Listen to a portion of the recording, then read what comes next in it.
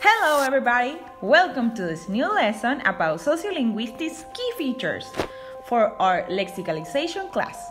My name is Carla Gayoso, And I am Kimberly Bustos. and we are going to be your guide through this informative video.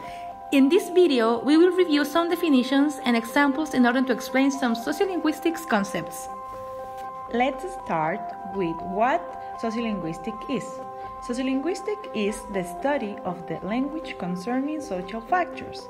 That is to say, that depending on where you are or where you grew up, you will have a different perspective of the language, which will make you formulate different words. Several sociolinguistics key elements exist to cover every particular case on the language, whereas in social groups, age, or different environments. These features are not exclusive from the English language, it is presented in every single one. Inside of sociolinguistics, we find the concept speech community, which is fundamental to understand the human language and meaning. It is a group of people that share values and attitudes about the language since it was developed through prolonged interactions recognizing styles of communication. As humans, we are born with the ability to learn every language. Nonetheless, we also acquire within culture and society that surround us and frame the process of communication learning. As you may think, the speech community is not exclusive on groups that speak the same language. It is beyond that. For example, let's think about a family that's been raised in Australia. They already have a speech community, but later they moved to a Spanish language country, let's say Chile. Although it is not the same language, they will adapt and acquire the speech community of the new place since their interactions will change. The first concept is called language variation, which is what we call when social groups are influencing language. Sometimes it is thought that these variations are mispronounced words and have bad grammar. Nonetheless, these distinguished features are just a different way to see language. They have their own way to pronounce words, unique vocabulary, and their own grammatical rules. It is not that one type is wrong or right, they are just different. Talking about grammatical rules leads us to another concept called standard language. Have you heard about this? I bet you have. Standard English is a codified language that is presented into formal environments, such as newspaper and academic text. You probably have heard the standard language before at your school, from your teachers, since they use it to teach because it follows all grammar rules. In the following academic extract, you will notice how perfectly written the language is. It follows a structure and uses a formal vocabulary. That's how you use standard language successfully. But not always you follow grammar structure. There also exists the non standard language, which refers to the lack of structure and pronunciation. It doesn't follow any structure and it is considered vulgar. In this picture, there are different examples of how the use of language is being used with a perfect grammar structure. And we also see example of sentence with a several lack of grammar. As you can see, there are some serious issues with subject-verb agreement, besides the misuse of plurals. What else could change the way we perceive and use language? Something as our gender could do. Gender is our way to define our sexuality identity in culture. But might women and men use language in the same way? Sociolinguistic patterns describe phonological difference in female and male specific behavior concerning the overall frequency of using specific phonological variances. Studies in language and gender have a less restrictive focus as they are more generally concerned with gender based variation, as concerned with specific female and male ways of speaking. For example, women use more adjectives to describe places and feelings, meanwhile, most men use less words to describe. Now that we know that gender may change some things a little, what else could change our perception of language? What about the people that surround us? Are their and our social status relevant?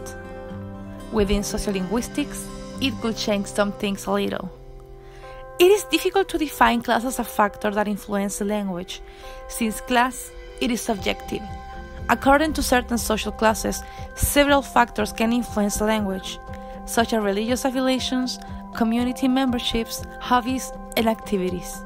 As a consequence, people within social groups may appear to be similar in several aspects, including the use of language. Nonetheless, this is not correct, since every single people differ in language use because each person has a unique dialect independent on where you're from or where you were raised. This following concept is called dialect and boundaries are an essential point to study in this future since people have a different variation of language depending on a particular group in a specific region. An example of dialect is the Yorkshire dialect, which is from the Northern Ireland and is spoken in the English county of Yorkshire. This dialect has roots from the Old English and the Old Norse. Now, we will show you a video where this dialect is being spoken. And then at school we'd say, you buy gum, stick your belly up your bum. A subdivision of dialect is sociolect, which is the joining of the words social and dialect. It is the present in specific groups such as, as a socioeconomic class, ethnic groups, and age groups. Is that to say, they use a variety language understood only by the people within that group. In this screenshot of the chat, you can see that the language used and understood are very informal, and the use of acronyms are common. What we can interfere of this chat is that the people talking are teenagers, since they use words such as a, OMG or oh my god, BFF, best friend forever, BFB, best friend brother, etc. Dialect is a combined word as well. It is formed by the words geographical and dialect, which means that every place has a dialect that may have a minimal change depending on the location you are since it is to say that the social behavior and environment influence the speaker dialect. For example, in Latin America, Spanish, which varies depending on where you are. Let's review the sentence Todo está bien, which means everything's alright. Depending on which geographical zone you are, the sentence will change, but the meaning will remain. For example, in Mexico, the sentence will be todo chido. Meanwhile, in Colombia will be todo bacano. And finally, in Venezuela will be todo chido. Now, pidgin. Pidgin is a variety of language developed for communication purpose. It is characterized by an absence of grammatical complex structure, morphology, and vocabulary. This element is used between groups that don't have a language in common and need it to communicate. A pidgin may be built from words, sounds, or body language from multiple of language.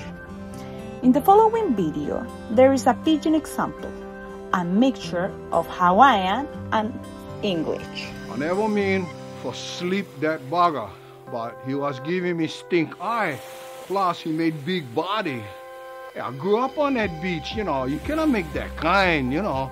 A Ball band, you're gonna get cracks. You come down a beach, act all taran taran. The last concept to review is jargon, which can be defined as a technical vocabulary associated with a particular activity or group. It helps to connect people among those who see themselves as insiders, excluding outsiders. The outsiders are those who don't understand what people with this technical vocabulary are saying. In this academic extract, if you are not an astronomer, you probably won't understand this text 100%, since some words are too technical to understand them. Since we don't know what entirely says, we could name ourselves as the outsiders. Well, that's all for today. I hope you can learn about sociolinguistics. key concept is speech community and language variety. And how important is to be conscious of how the language is influenced by everything and everyone that's around us. Thanks for your attention.